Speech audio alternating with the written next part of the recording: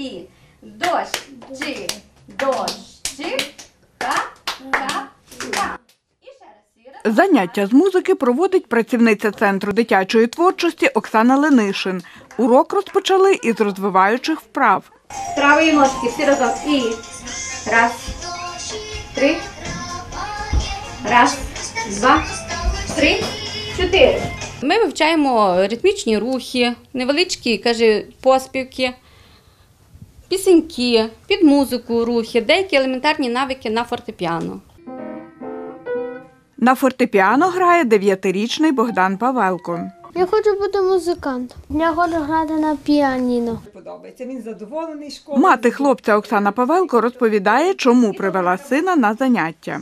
Такі заняття дуже розвантажують дитину психологічно. Е, Він е, ну, задоволений йде додому, в нього емоційне піднесення. І це досить е, ну, такі розважальні є заняття, як після школи, коли ну, дитина мусить бути сконцентрована. Тернополянка Мирослава Семчишин такий урок з донькою відвідує вдруге. Перший раз ми були, їй сподобалося, і вона за охоченням хоче ходити. Любов Гадомська, Василь Панчук. Новини на Суспільному. Тернопіль.